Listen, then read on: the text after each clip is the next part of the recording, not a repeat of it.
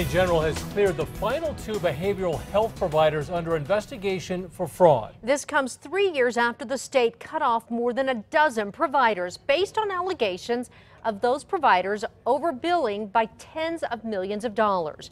News 13's Madeline Schmidt is here with more. Well, Jessica and Dean, the Attorney General says his investigation found regulatory viola violations, maybe even questionable spending practices, but it did not find any evidence of fraud.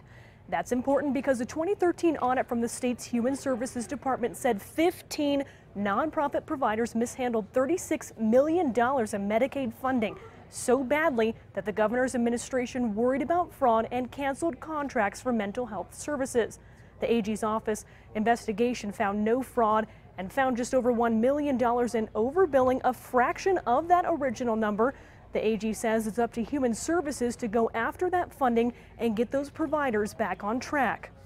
There needs to be greater detail, greater efficiency when referring these cases so that we do not put at risk any patients or vulnerable populations in New Mexico. But the Human Services Department argues that behavioral health programs for New Mexicans have grown in recent years. And the department and the governor pointed out today that CEOs from those companies use Medicaid dollars for things like private planes and luxury travel.